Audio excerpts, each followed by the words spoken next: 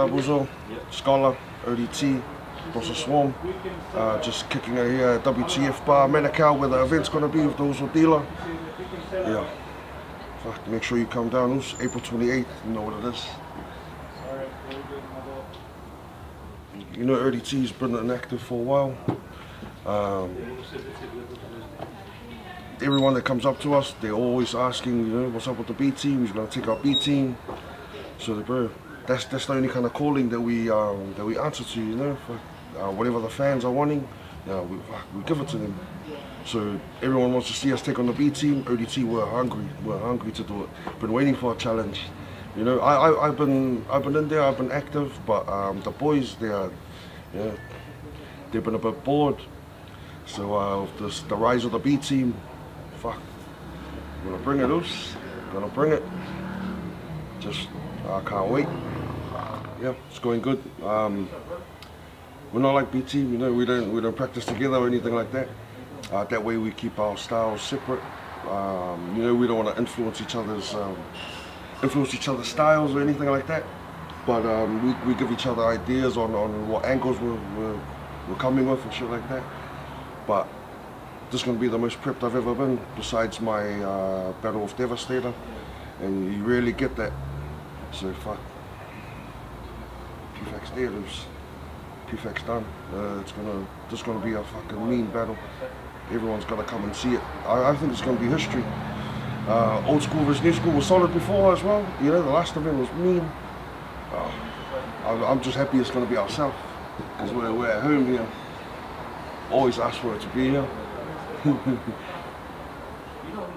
Hip hop's alive here, you know. Um, everyone loves rap here.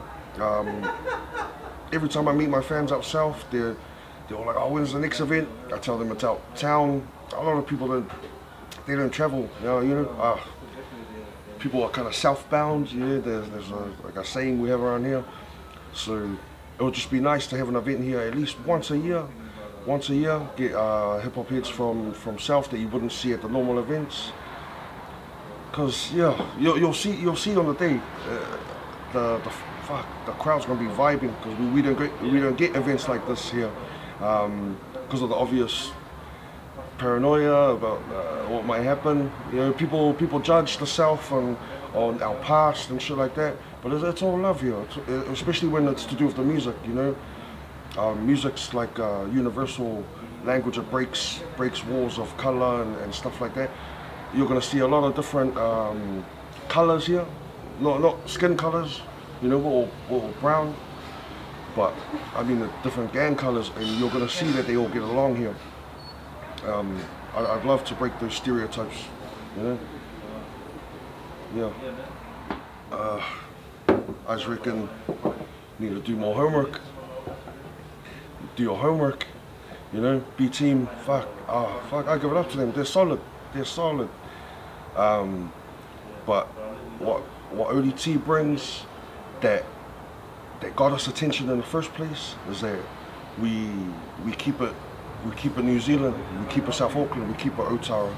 It's it's what makes it's what makes us a bit uh, it's what makes us unique we, we don't uh, we don't follow styles from yeah there's influence from America just as, as you know as you get but we, we try to uh, we try to represent our culture, our you know our hood. You're gonna see the difference. You're gonna see the difference. It's gonna look like somebody. It's gonna look like a team that's trying to be something versus a team that just gives you, um, you know, gives you something that's that's in here. Like uh, that's what we're about. You're gonna see that on stage. So make sure you make your way here. It's gonna be epic.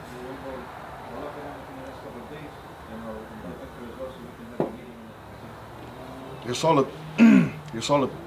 But I, I, I, like all of them. I like all of them. I've, I've watched their battles. Entertaining, very entertaining.